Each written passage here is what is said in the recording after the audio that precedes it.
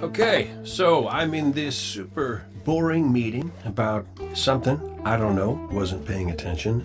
Then, boom! It was like an ugly contest where everyone was a winner.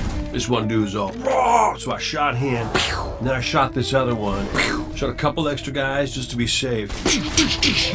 I did, I did a lot of shooting, if I'm being totally honest. Then, they destroyed my favorite store. Second favorite. There's that spicy ramen shop. I'm getting sidetracked. Look, long story short, I get busy. And I'm thinking, I've got this. You know, when you're in that, you go, I got this. But man, I so did not have it.